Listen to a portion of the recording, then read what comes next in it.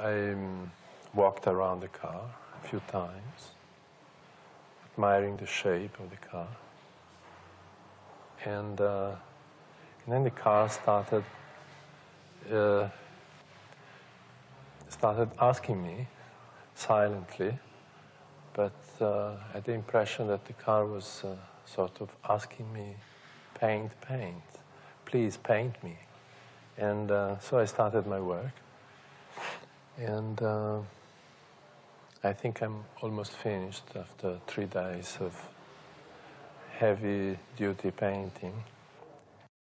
The challenge was to, to finish, to, uh, to complete uh, what uh, some, somebody else had started.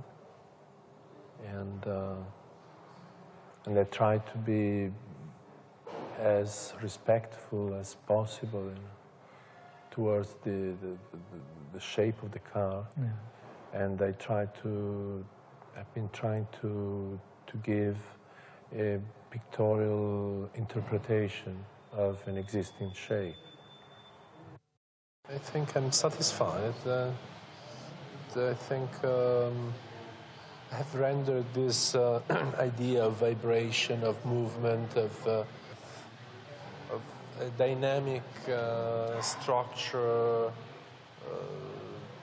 with uh, with the soul, with the spirit, and uh, uh, with a certain richness of uh, of colors and expressions, and I mean, it's a it's a complex work.